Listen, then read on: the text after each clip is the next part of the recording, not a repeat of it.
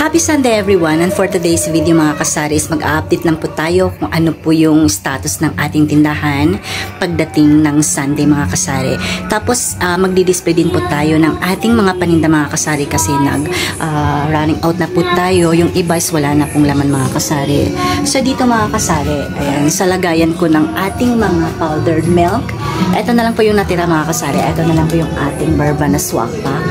Tapos ito yung ating birch string na choco. Tatlong piraso na lang running out na rin po tayo sa ating uh, champion energy na to win pack. Dito naman din po sa ating champion na singles. Ayan. Running out na rin po mga kasali.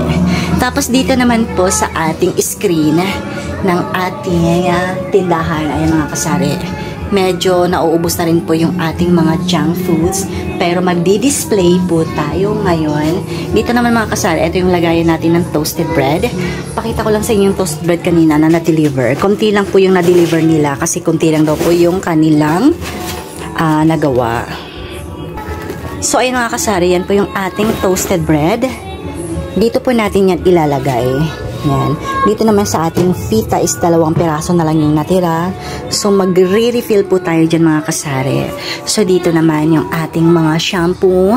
Ayan, medyo nagro-running out na po. Medyo marami pa po yung ating tang yung ating mga juices na powder kasi hindi na po masyado um, mainit ang panahon kaya medyo tumumal po yung ating bintahan sa ating mga powder juice yan so ayan po Update ko lang din po kayo sa ating mga canned goods.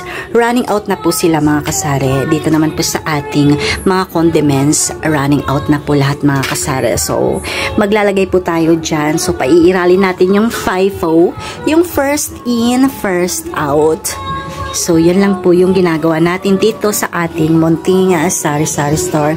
At eto naman po yung ating mga i-display mga kasare. Yung nakakarton na yan. So, Ayan, keep on watching mga kasari sa ating uh, displayhan mga kasari sa ating Muntinga Sari Sari Store.